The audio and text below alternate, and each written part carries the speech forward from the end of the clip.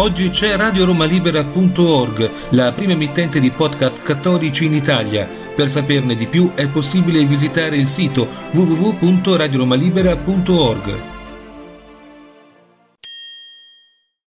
Il nome esatto della chiesa è Santa Maria degli Angeli, ma i milanesi preferiscono mantenere la vecchia denominazione di Chiesa di Sant'Angelo è una delle più belle di Milano, eppure poco conosciuta, forse perché schiacciata dalla notorietà del Duomo anzitutto, nonché di altre splendide chiese monumentali come Sant'Eustorgio e Sant'Ambrogio, oppure perché oscurata dalla fama mondiale del cenacolo vinciano, che si trova nella chiesa di Santa Maria delle Grazie.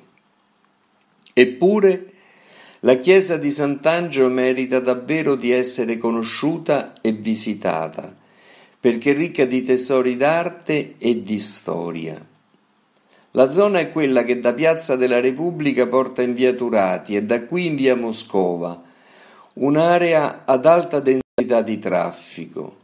Ma dopo appena un centinaio di metri in via Moscova, all'incrocio con Corso di Porta Nuova, si apre una bella piazzetta alberata, piazza Sant'Angelo, dominata dall'omonima chiesa e, sulla destra, dal grande complesso del convento dei frati minori e dell'Angelicum, sede di attività religiose, culturali e sociali, nonché del terzordine francescano, della fondazione e dell'associazione Onlus Fratelli di San Francesco d'Assisi.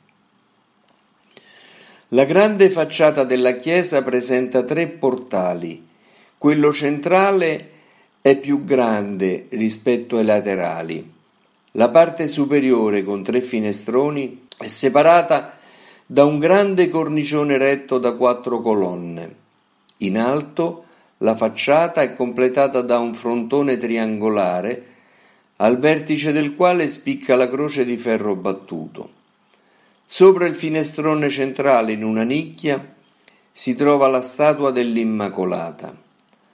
Altre statue di Gerolamo e Marcantonio Prestinari ornano la facciata. Si riconoscono quattro santi francescani, tra cui San Francesco d'Assisi e Sant'Antonio da Padova, mentre il portale maggiore è dominato dall'alto rilievo raffigurante San Michele Arcangelo che sconfigge il diavolo. È invece opera di uno scultore contemporaneo, Giannino Castiglioni, la bella fontana che si trova sul Sagrato, con una statua in bronzo di San Francesco. Sui bordi della vasca sono incisi i versi del Cantico delle Creature. Sul sagrato della chiesa e nelle vie adiacenti ogni anno nel giorno del lunedì dell'Angelo si rinnova una delle più antiche tradizioni milanesi risalente al XIII secolo, la Fiera dell'Angelo. Anche quest'anno oltre 200 espositori hanno offerto al pubblico principalmente fiori, ma anche specialità gastronomiche, prodotti di artigianato, stampe, libri e giocattoli. In questa fiera sono sempre presenti i frati che offrono i prodotti delle abbazie e dei conventi d'Italia, dall'enogastronomia ai prodotti naturali per la cura della persona fino all'artigianato.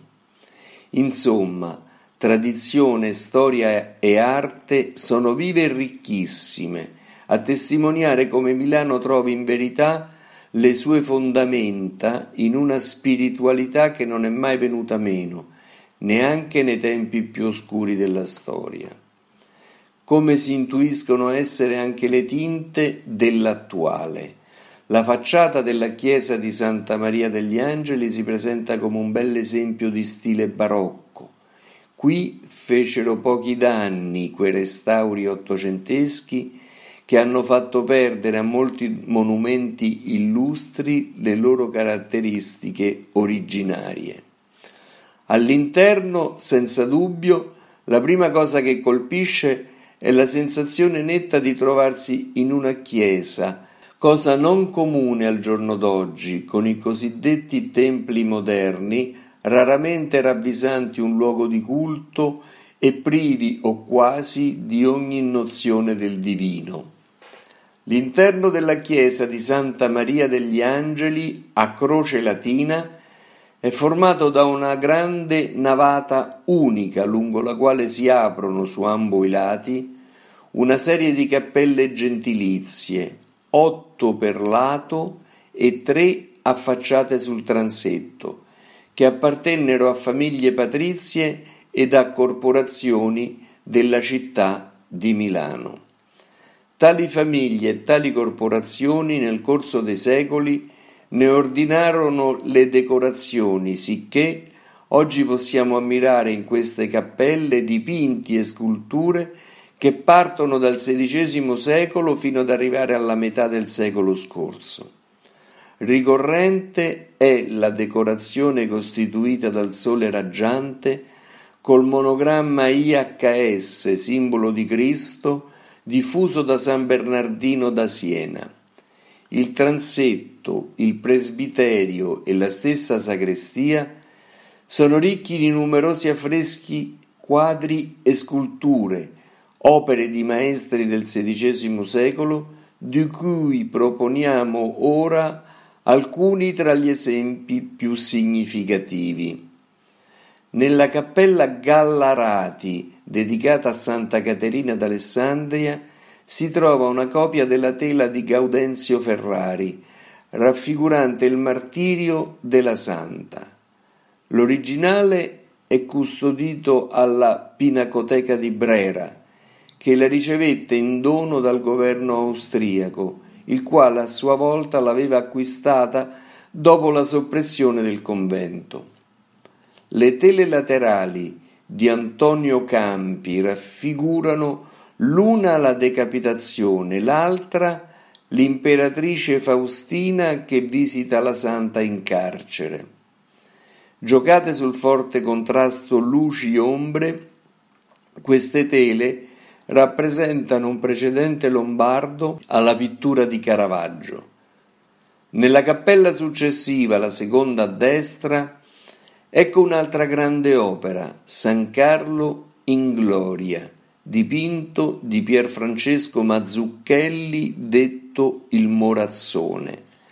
La cappella è dedicata a San Carlo Borromeo. La cappella dedicata a San Gerolamo, detta anche cappella del Sacro Cuore, è ornata con decorazioni a stucco e storie di San Gerolamo, opera di Ottavio Semini. L'ottava cappella sulla destra, dedicata a Sant'Antonio da Padova, è una delle più belle. In essa possiamo ammirare gli affreschi di Simone Peterzano, che fu maestro del Caravaggio, affreschi raffiguranti episodi della vita del santo. La cupola dell'altare è decorata con la gloria di Dio, opera dei Fiammenghini, nome comune sotto cui sono ricordati i fratelli Giovanni Mauro e Giovanni Battista della Rovere. Nella cappella di San Michele Arcangelo, la prima a sinistra, commissionata dalla famiglia Sansoni, che la utilizzò anche come luogo di sepoltura dei propri cari, la decorazione fu interamente realizzata dal pittore manierista Panfilo Nuvolone. Domina la scena la pala centrale con la Vergine tra San Girolamo e San Michele che scaccia il demonio, mentre le restanti decorazioni sono allegorie delle virtù.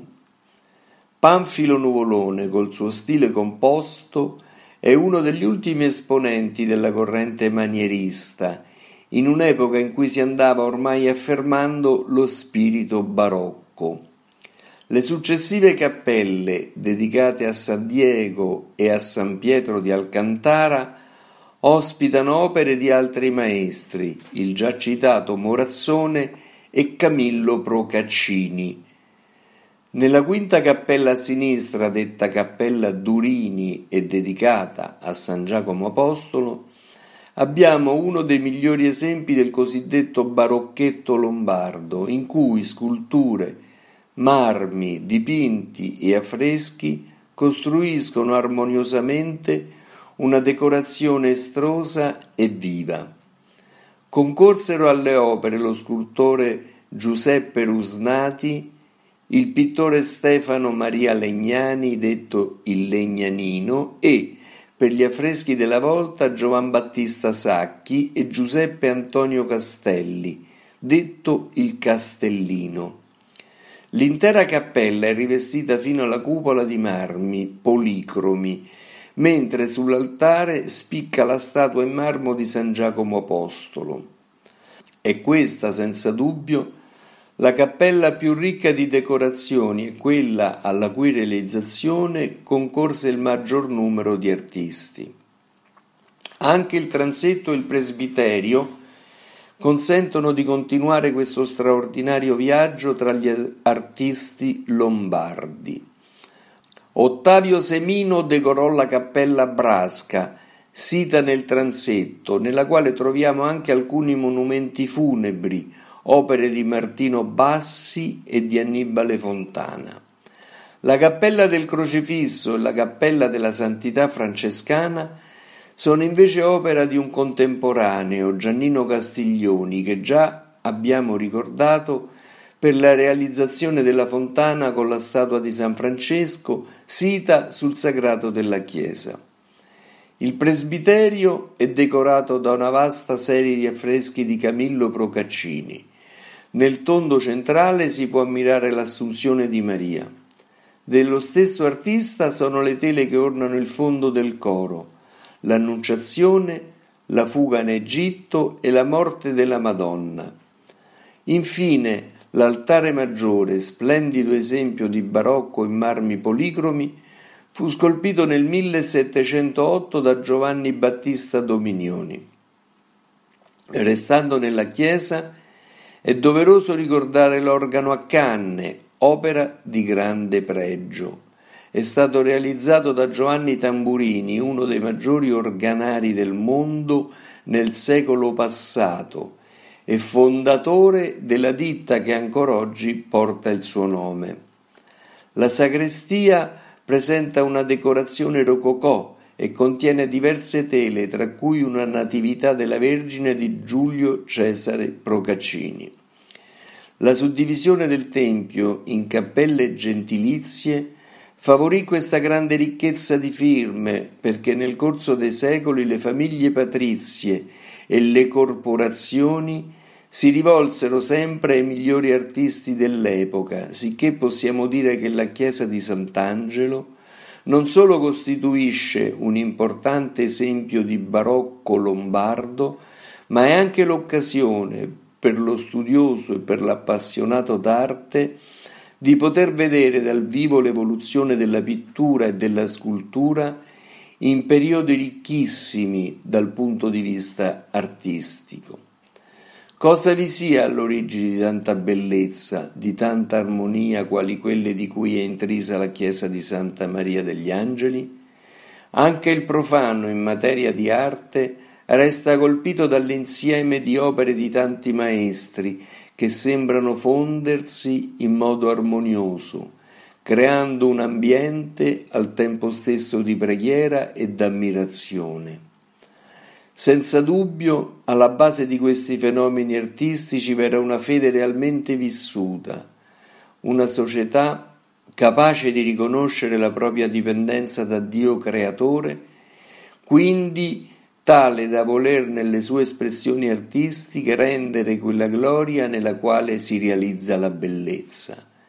Non vi è da stupirsi per la freddezza delle cosiddette chiese moderne, edifici destinati solo a raccogliere persone, ma sovente non a render gloria a Dio.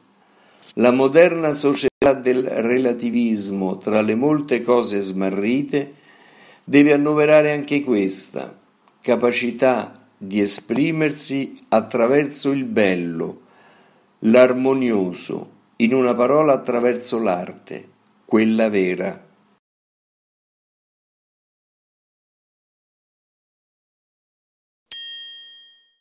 Oggi c'è RadioRomaLibera.org, la prima emittente di podcast cattolici in Italia Per saperne di più è possibile visitare il sito www.radioromalibera.com